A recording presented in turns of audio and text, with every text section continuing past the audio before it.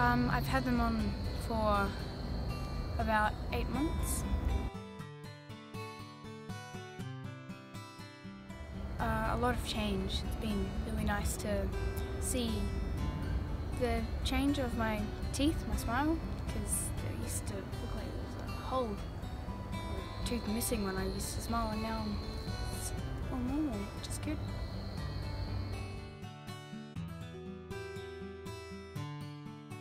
No, it, it only hurts when putting put new wire in and when you first get them, and then it's just carefree.